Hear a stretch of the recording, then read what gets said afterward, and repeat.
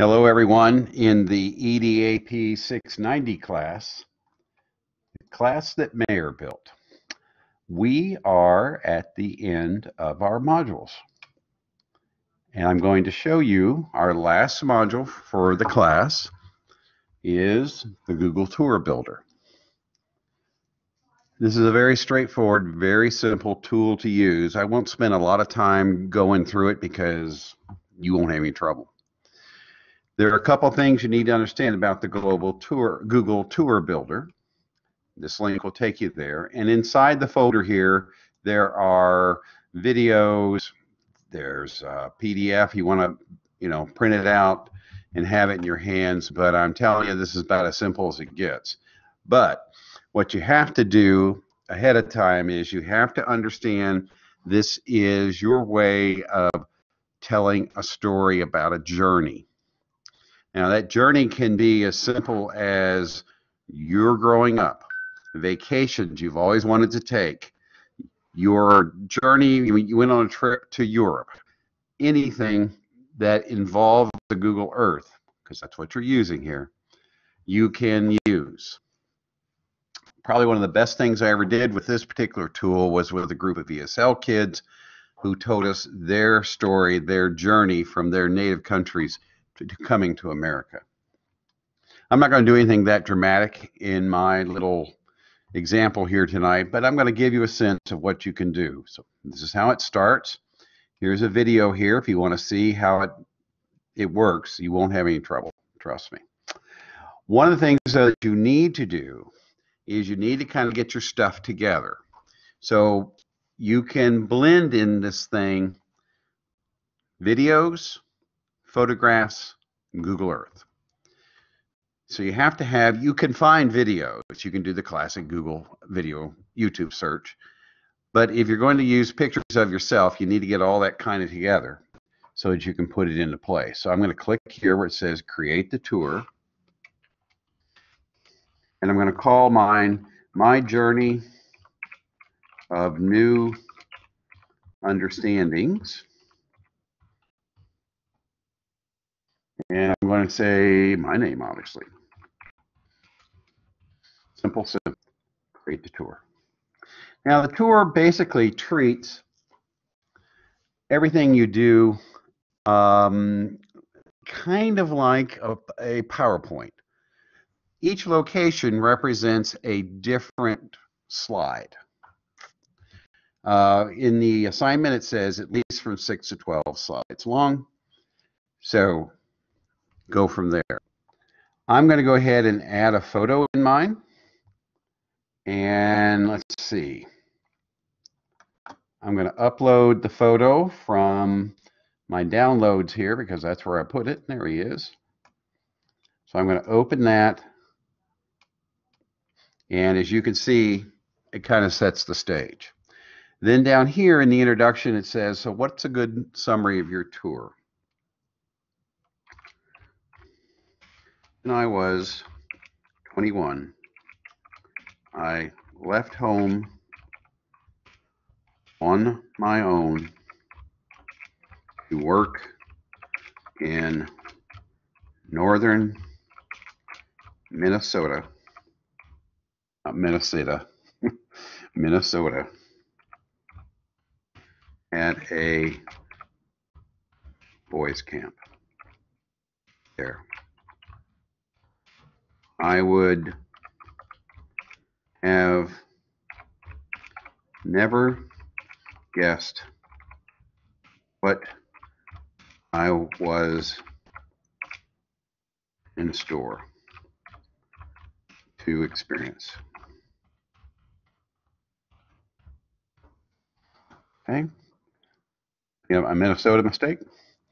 Get the idea. So I'm kind of setting you up now I'm going to add a new location. And I'm going to type in the location where I grew up.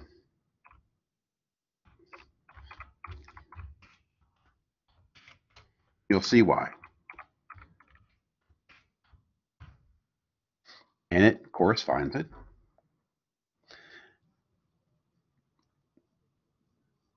And I'm going to add that to the tour. Now notice when I do that, it gives me the same box and I can come down here and type in. I never traveled much as a kid growing up. We didn't have much money. So when I got a chance to work for a boys camp in Minnesota, I jumped. Chance. Okay. I'm now going to add a new location.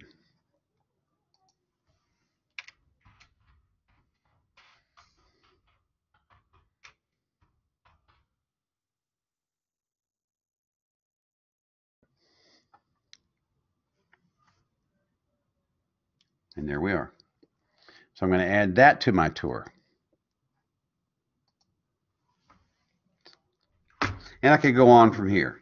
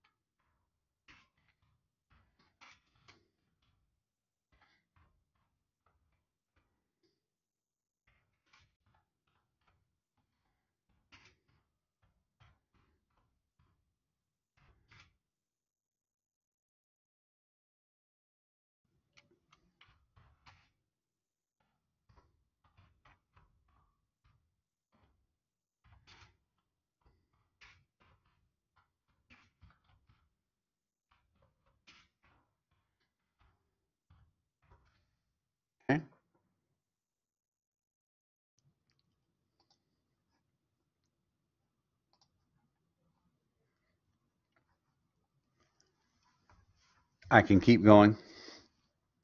Um, you know, I might want to go out and see if I can find some pictures that I might throw in here.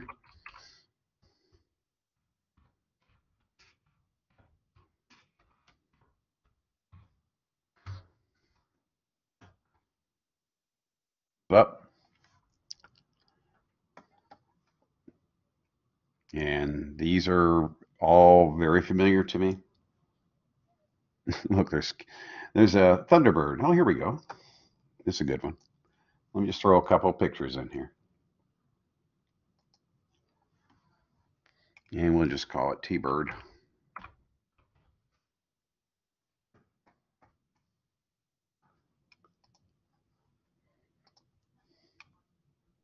And we'll call another one. You get the idea. So I'm basically just going to pull some pictures in, help bring out the story a little bit more because I can, as you can see right here. So I can go in here and I can find the photos that I want to upload.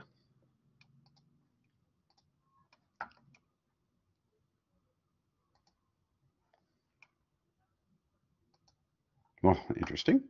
Okay. We'll try that again.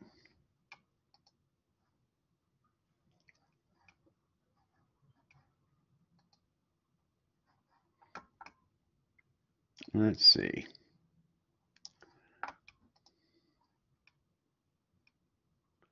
It might have kicked it out because it was too small.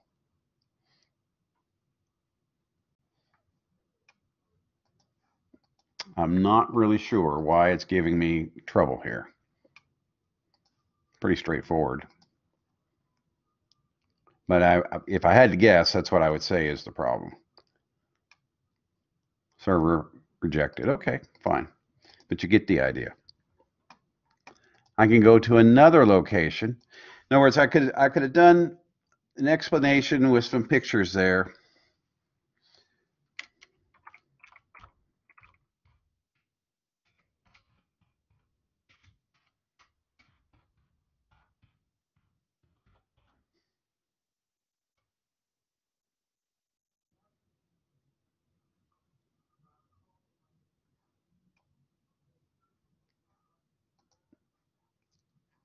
I'm going to add that to the tour.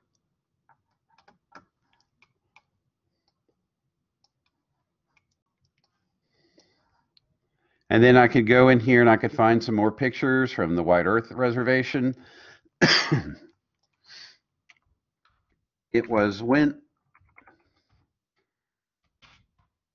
I enjoyed working, swimming, hiking, and canoeing with my boys. But it wasn't until I became a program director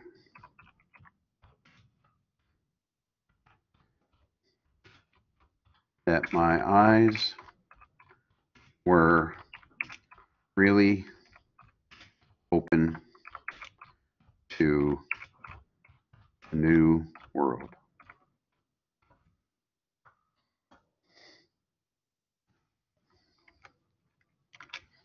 On the Red Lake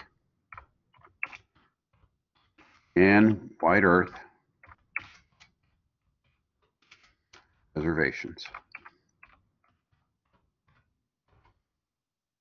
So I'm going to add that location. And then I'll go ahead and I'll put in the Red Lake one.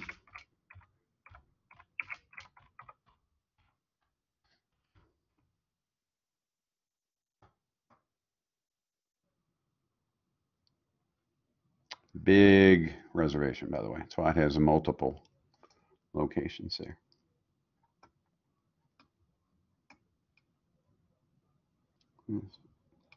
You can see, just from looking at this, they're all pretty close, clustered around to where I was. I'm going to add that to the tour.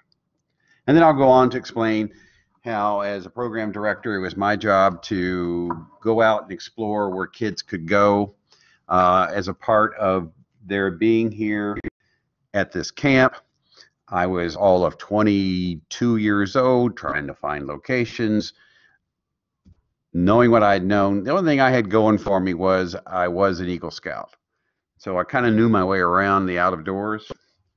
But what I didn't realize, and this is the point of what my tour would be about, is my boss, who owned the place, excuse me, was way ahead of his time. And at that time in Minnesota, the American Indian movement was underway.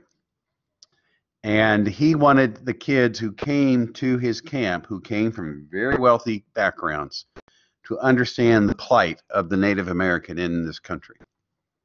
And so part of my job visit with Red Lake and White Earth to set up a time and a place where I could bring kids in. The interesting thing about it was we were met with a great deal of anger and rejection.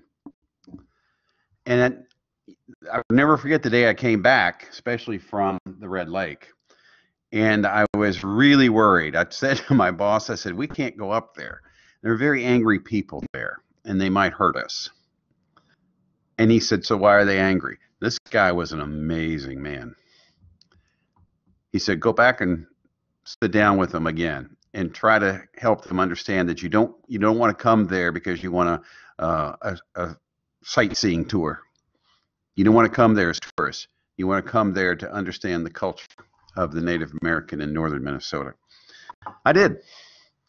And I- don't know if it was because I was young. I don't know if it was because I was sincere. I don't know what it was. But a door opened. And I then was able to bring kids onto the reservation, have them visit and tour all the facilities there. These places have schools in them, by the way. So they can see what their school looked like compared to a school on the reservation. It opened my eyes. I started life growing up in this little place in Louisville, Kentucky, in this little neighborhood across the street from Hawthorne Elementary School.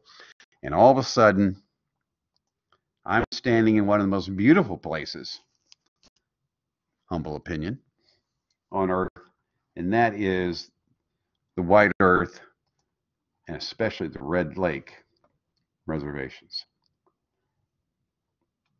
Okay, so that would be my tour. Now, can I add anything else to these things? Well, let's go look and see. So I can go up here and add, and I can come down here to YouTube, and I can search for YouTube. I hit the wrong thing. Search for YouTube, and I could put in Red Lake Reservation.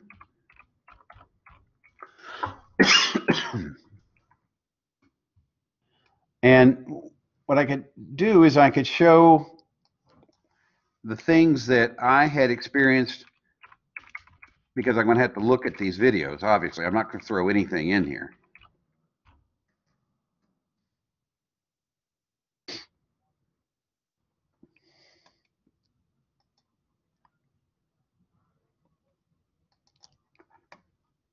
I'm going to select that one and I will put that into, oh, you know what? I'm going to pick this one. It's new.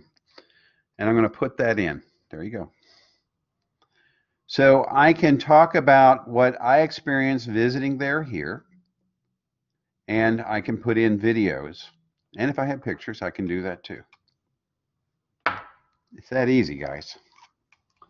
But because it's that easy, it becomes a powerful, powerful, powerful tour tool.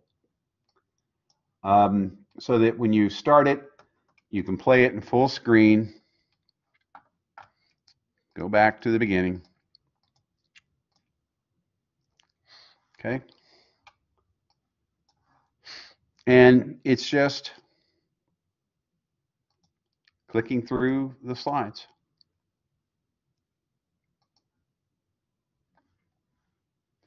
Now, when you're finished, what you're going to do is just as simple. You come up here to where it says share, and you grab this. That's all. And then you're going to copy that link. You probably better make it so everybody can see it. Sorry about that. Anyone who has the link can see it. So there we go. So I'm going to copy my link. And then I'm going to go into our good old friend, the PB Works.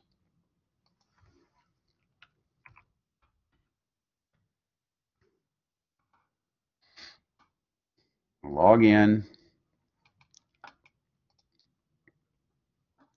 By now, you should be nodding off, going, Yes, Steve, yes, Steve, we know how to do this. I'm going to create a new page. Module 6, Google Tour. Create the page. Come in. And I ask you in the uh, module here to just put a paragraph in here about what your tour is about. And as you know, I can just drop it straight in. I can insert it as a link or I can add a link. Let's just insert it as a link to make sure it comes in nice and clean. And once I do that, when I save everything, it'll have it there. Now, If I didn't want to do it that way, I can just drop it in. Save. And now I have a tour link that'll take me out to, there you go. Easy, easy. Now, the thing that makes it so much fun is wherever these pins are, you click on them and they'll take you down to the location, which is kind of fun. So if you wanted to go to the next slide, which is right here, and I can click on that pin and I can zoom in and walk around in the Camp Thunderbird for Boys, where I used to work. And as you can see, it was on a beautiful lake called Plantagenet. And it had a girls' camp around the bend from the camp. You were considered quite the, the stud if you could swim from here to there to the girls' camp. it was only a mile. I swim a mile whenever I get in the pool here at U of L. But then this is also really where it gets interesting is if you click on the White Earth Reservation here and you zoom into it, what really makes this interesting is you start to realize, first of all, where it is. There we go. How isolated it is from everything else around it. And you can move your mouse around and look for buildings, and you won't see very many. I go to the Red Lake, do the same thing, zoom in on it. What I'll get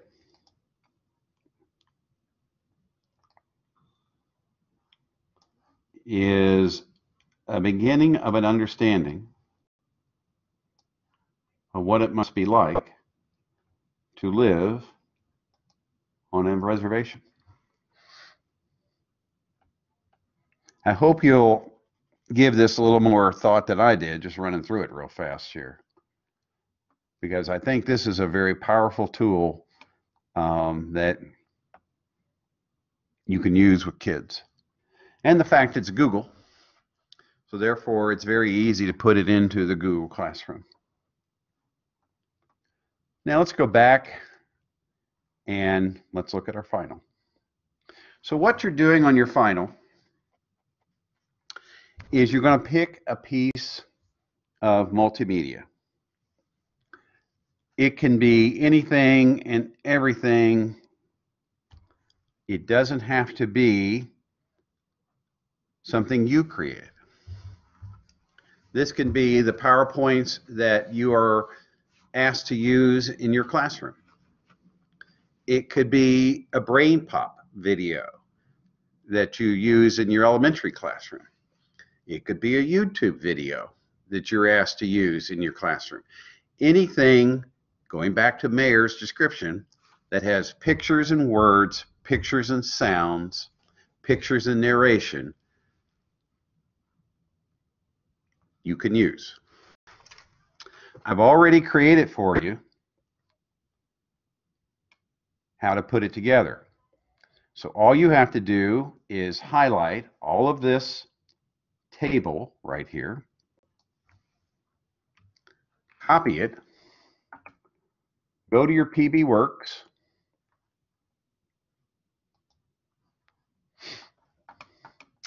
go to your PB Works and create a new page call this new page EDAP 690 HAT HAP. Create the page. Open it. Make sure you're in edit mode and paste. Now that can be a control V, can be an Apple V. You could even do a right click on your mouse and paste. It'll put the table in here. Once you have the table in here, what you're going to do is you're going to put in here either the link the file, in other words, if it's a PowerPoint, you're going to put that into this box right here. So let's say that I used um, a video from YouTube all the time. And I use it for teaching fractions.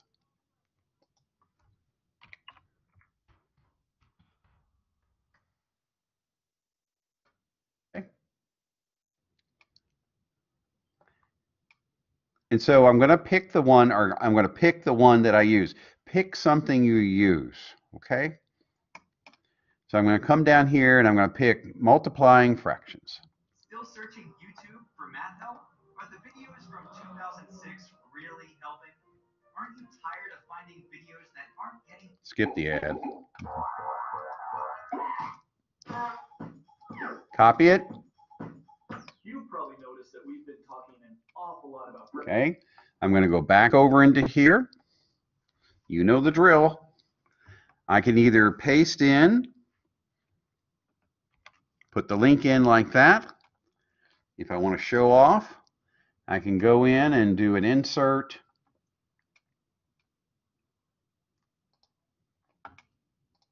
Actually, do an insert of a video, YouTube. Sorry about that and I can paste that in. I can go next, and I can insert the plugin, and now I have the video right here. And it'll be there when I save it. You know that. You're going to, over here, you're going to go through and you're going to say where and how in your presentation this principle is included or not included. So as you see down here, it says coherence principle. People learn better when extraneous words, pictures, and sounds are excluded rather than included. In this box over here, you're going to tell me all through the video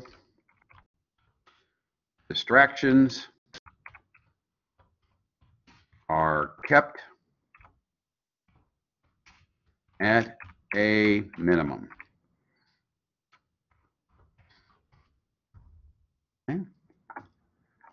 Signaling. You're going to tell me where you see the signaling. If it's not there, say so. Material, the video does not follow Mayer's principles of signaling. Okay, let's go back and do another one. So this time I'm going to pull in a um, file that I want to use. And you remember how to do that. So I have to go over here to images and files. I'm going to upload a file. And I may just got myself in trouble because I'm not sure if I've got a, yeah, I do. So I've got a PowerPoint right here and I'm going to upload that and I'm going to make sure where it's going to land right over there. So there's my PowerPoint and then I can look at it. It doesn't have to be that you know I you I don't need you to bring it in like in a slide share or something like that. Just the link to that that thing, that file that you use in your classroom. That is a multimedia based file that you teach with. Um, I'm not sure. Those of you who use BrainPop, I don't think I can get anything out of BrainPop uh, because I don't have an account. But if you do have an account, I can do start for free.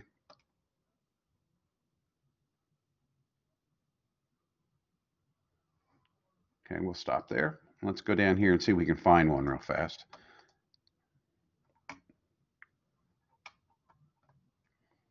And I'll go ahead and I'll do that one. And I'll do that one. Excuse me. And you get the idea. And so what I can do is if this is the thing that I use, and there's the little video right there. If you've never used BrainPop before, okay, see, I can't get into it anymore. All I'm going to do is I'm going to go up here and I'm going to just copy this. because this will take me to the BrainPop video. Um, I don't need to be able to watch the video. I just need to see your um, looking at it through the lens of Mayer. Okay? That's your final. You're going to copy the table that is here, right here in the module, the, the hat module. Make sure you get all the little boxes highlighted. Then you put it into your PB Works. Then you're going to either put in a link to a YouTube video. If you want to show off, you can put in the YouTube video because you know how to do that now. You can put a link to a PowerPoint. You can put a link to something else that you teach with. I use the example of Brain Pop. Anything, any website, any web quest, anything like that that you use is fair game. Just make sure that you put it up here so that I can then either go see it or understand what it is that you're using. And then I'll look down here for your determination. Now, what if you get a multimedia artifact that doesn't follow any of Mayer's principles? That's going to be kind of hard to find, be quite frank with you. But if you do, you do. Boy, don't teach with it, whatever you do, because now you know better. Because Rich has told you, especially things like coherence principle, modality principle, you know, that two channels where we get information from our eyes and our ears. And if we mess around with that input to where our brain has a is has a struggle to organize it into short-term memory, because short-term memory is short, it will then not get passed into long-term memory where we then can build upon it to make new connections to new ideas. Pretty straightforward, huh? And that's it. Uh, next week is the University of Louisville spring break. I hope you, if you're a student here, I hope you get to take a little time off. If not, you don't have to worry about coming here um, for class. We are done. If you have questions, if you need to get with me, I'll be meeting with a student uh, this Friday using the same setup as we have here for our class, which is we'll be meeting together within this Collab Ultra framework where we can talk to each other and they can show me stuff or they can ask questions about stuff. Any of this we can do to help you get finished. To set that up, all you have to do is drop me a text at 502 457 2937. I'm always here for you. Have a good week.